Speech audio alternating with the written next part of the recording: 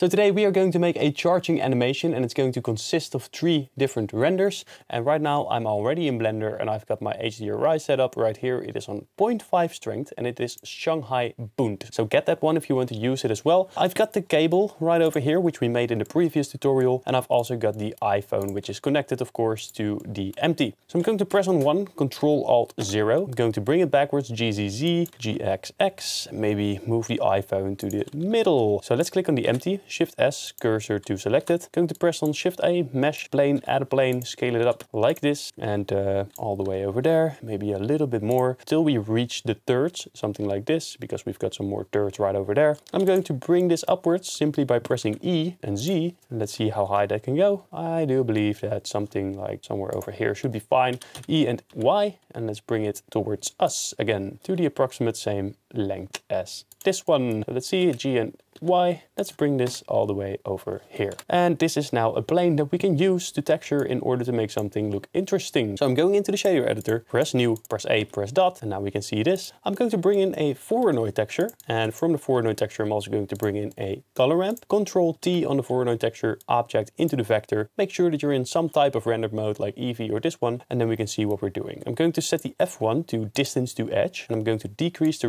randomness all the way to zero. And you'll see what it does. Actually, I'll leave it to one for now. Plug this into the base color. And as you can see, we now get some cool square type shapes. So something like this. And that looks pretty cool. But that's not the end of this because what we want to do is basically bring in another color ramp, plug this one in there and the color into the roughness. And now we get some pretty interesting looking shapes now, don't we? I'm going to take this black area, I'm going to make it slightly less black. I'm going to take the white area I'm going to make it a little bit more grayish. And maybe this is a little bit too big. I'm going to scale it up, bring this towards each other, increase the metallic and the black one over there. Now let's take the black area, uh, white area and bring, bring it down a bit. Let's take the black area and bring it up a bit. And the same goes for this one, for a second color ramp. Let's take this area aside and let's bring it down. I do want to have some of those reflections and now it looks like this. Of course we can play around with it until it looks exactly to our liking. And maybe we can also play around with the rotation of this until we get some pretty interesting looking reflections. I kind of like this. Uh, let's go to frame 15 and I want the iPhone to be somewhere over here and let's see something like this. Now I'm also going to select the camera and I'm going to click on depth of field and I'm going to select the empty that's on the iPhone. And right now the iPhone is sharp while the rest is being blurred. And that is exactly what we want. So now I'm just going to animate this iPhone. I am simply going to take it and make sure that we get some of those edges right there. So basically I want this iPhone to start right over here. So I'm going to set a keyframe to this on let's say frame five or six. It should be very fast in the beginning. And then I'm going to frame one and I'm going to bring this upwards and maybe rotate it on the Z axis just a little bit. So let's see what it does. It's coming in and then all the way until frame 48, because I want this animation to be only two seconds, I'm going to rotate it like this. So let's see what it does. All right, very cool. We need to select the Z location and let's bring this down. Because now the Z is going to be done faster than the X, so to speak. Yeah, we should probably get the X as well, right over there. Press A and dot. And this one should move faster as well. So then it's coming in quickly and it's slowing down and then it's rotating around a bit, but it's already stopping and we should probably change some of these rotations. Basically, I'm going to take the Z rotation and we're going to make it fast in the beginning as well. And right over there, it should continue its motion, but here it is already flattened out with the floor. So I'm going to bring this up so the animation continues onwards. So let's see, now it should always be moving a little bit. And we should probably do the same for the Y. So let's have a look at that one. Uh, here it is already standing still, so we have to bring this down just a little bit. And now it just keeps on moving. And we should probably do it as well for the X. And the same goes for the X right over there. That's what it looks like.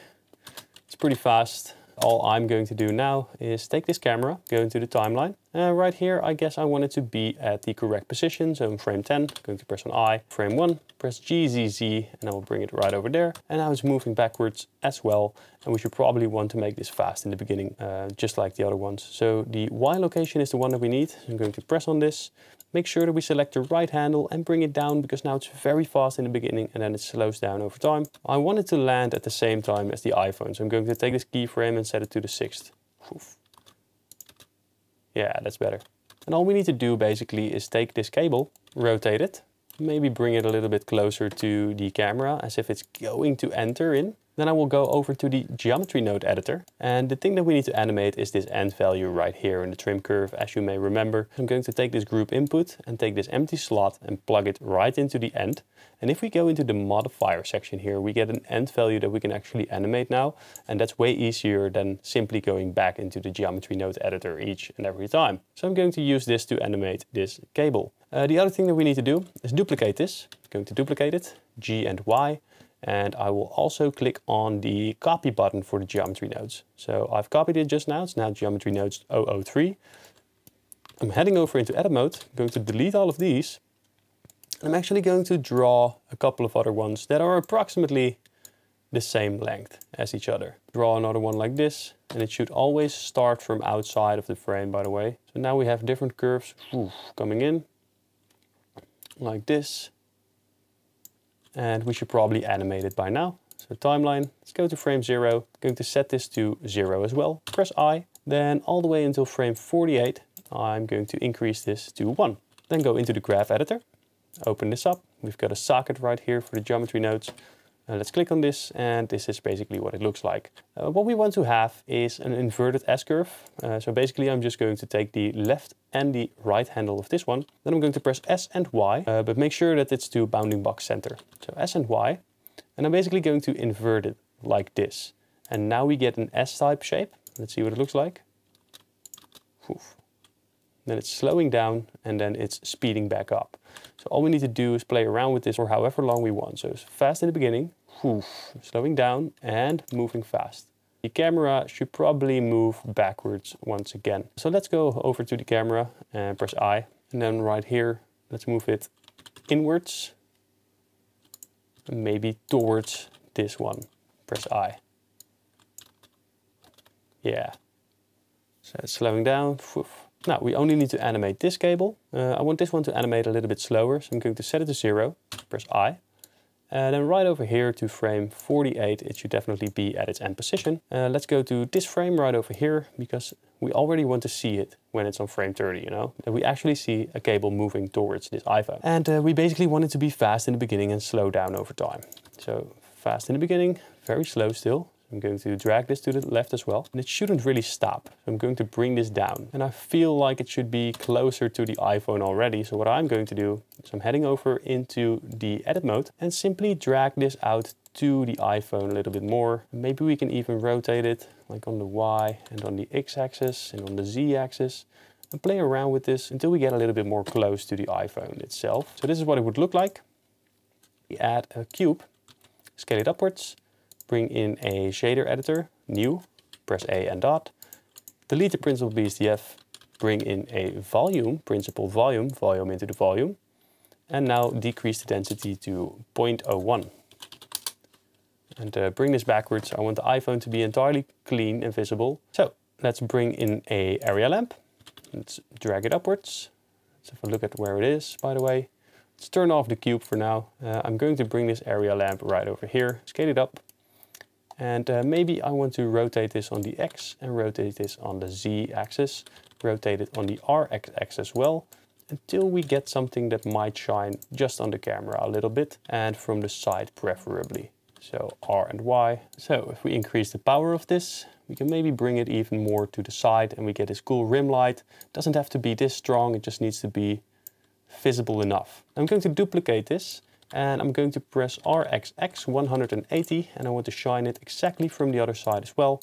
But this one is going to be a bit more bluish. I might increase the wattage of this and make sure that it only shines on the side and not really on the body of the iPhone. So maybe we can increase or decrease the strength of our HDRI. I'm going to set it to 2, way too much, 0.5 should probably do. And now we get something that looks like this and if we turn back on our cube with volumetric, it will look like this, which is not entirely what we want. So I'm going to have to move it backwards just a little bit. So we get the cool blue lighting over there, but nothing is interacting with the cube itself. So let's take the plane. R and X, R and Y and 90 and maybe block off some light from this side. So this is what I'm going to be rendering. I'm going to turn on the motion blur and make sure everything looks fine. Uh, for the next render that we're also going to do in this video, we're going to close up a bit on the iPhone. So let's do this render first, render it out already in a different folder, and then we're going to do the next animation with the camera as well. All right, so now we are going to do the second part. I've made a new save file for this before I render the other one because I didn't want to wait. So I've got my camera right over here, and basically what I'm going to do is I'm going to press dot on the iPhone. I might just simply place my camera right over here. And then I will take this one, make sure it has no keyframes, set the end value to 1 and basically make sure that it is straight. And this is definitely not straight, so we can go into the geometry node editor, go to rotation, and we've got the named attribute into the rotation. But what if we click on rotate instances? So let's set it to rotate instances. Let's plug that in here. And now we can take the Z value and turn this around until it actually fits. All right, so that's what it looks like. Add a little empty right over here. I'm going to make it a sphere. Click on the camera, go to the depth of field, and instead of the original empty, select this empty now instead. And that already looks pretty good if you ask me. So all we need to do now is animate this value in the modifiers. So go to end, and it's somewhere like over here. It's still outside of the screen. Uh, let's go to frame 9 in this case, because then the iPhone will be here already. Uh, let's click on the iPhone empty because I want to remove all the animations from this point onwards. So I'm going to delete those keyframes. And right now, all we need to do is go into the cable, go to frame one, press on I, then go to frame, I don't know, 48. And let's plug it straight in there. So let's go over into the graph editor real quick and let's see what's going on here. Uh, we wanted to move in fast. So whoop, then it's slowing down. And here I want it to be very slow. So I'm going to drag this out. But I want it to be noticeably slow. So right over here, I'm going to place a keyframe on the end value. I'm going to take this one and I'm actually going to make sure that it is almost straight. And then I want it to be very fast from over here. So I'm going to press I on the keyframes once again. And now I'm actually going to set this handle type to free, handle type to free, take this handle type and bring it upwards real quickly like this, G and X, pop. So it's coming in, slowing down, but I don't like this uh, animation just yet. So I'm going to bring this down just a little bit, G and Y, rotate it like this. So it's just going to continue onwards. Click. And in order to make this just a little bit better, I'm also going to animate the camera from frame zero, frame one actually, press one. Then on frame 84, let's just slightly zoom it in and maybe rotate it as well, RZZ, something like this, press I, and let's set it to linear. Very good. And now we also need to render this one out, so create a new folder for this. So let's do the third one as well. Basically, we can go back to our original first animation, then make a new save for that and call it the third animation. And then we're in the same environment and all we have to do is make sure that our cable is connected to the iPhone and give it a bit of a wobble. So let's do that right now. All right, so I'm back in the first render that we made and I already saved it as a different file name. So now we have to see. Uh, all we have to do is go into this cable, make sure that we delete these keyframes and let's go to the camera as well. Let's make sure to delete those keyframes on a beautiful position like this. Here we have the cable. We have to do the same thing as we did in the previous one. So go to the geometry node editor and make sure that we add a rotate instances, rotate instances, plug it in here and uh, rotate Z until it is able to fit inside of this plug. Now, naturally, we are also going to change the cable itself so the curve is a bit less nasty and make sure that it is plugged in. Shift S, cursor to selected, and let's make sure that the origin is set to the 3D cursor. And if we place a new empty in here, let's say a arrows empty, I'm going to scale this up, uh, we can take this, select the empty last, Control P, uh, parent it with the empty object, but keep transform. Uh, then select this empty right over here and select this empty, Control P, object, keep transform. And now if our iPhone moves, the cable is going to be stuck to this bottom side. And that's basically what we want. Now it doesn't automatically generate a cool looking animation, but that's not a problem because all we gotta do is maybe like rotate it like this. Bring it uh, somewhere to the side. Let's, uh, let's make sure that these cables are removed. Let's bring our camera in just a little bit closer. And we are simply going to make sure that it gets a slight wobble. So I'm going into the graph editor.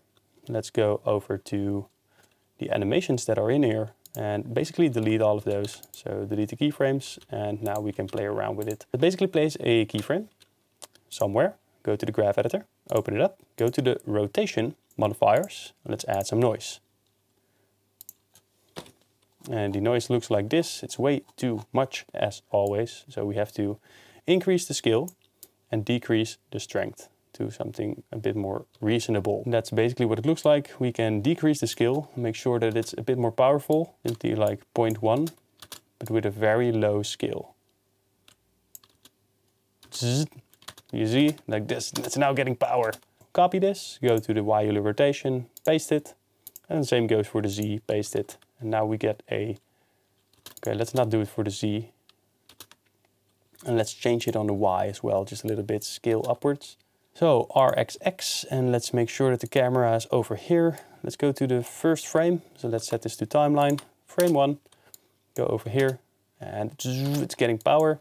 Press I on the camera. On frame 60, I want to place another keyframe. I want to zoom it in just a little bit. Press I, so it's just moving forward. Control T, linear, it's moving forward. And then it is moving to the side. So RZ, and let's place it all the way, like over there, and a little bit downwards as well. So then we can get a cool looking pan animation. Whoop, whoop. If you really want to make this render a little bit better, you can add lightning made with geometry nodes. I kind of wanted to show you guys how to do it, but I thought it would really extend the course to be very long, even though it's not necessary. Uh, but you can make lightning in geometry nodes very easily. So uh, keep that in mind, uh, that if you want to make this look even cooler, very cool but we're not going to do that for this course. And here at approximately the end, we also want to move this iPhone outwards, I believe. Uh, so let's press I, let's bring it over here. And on this frame, let's uh, move it towards this side and rotate it as well, maybe.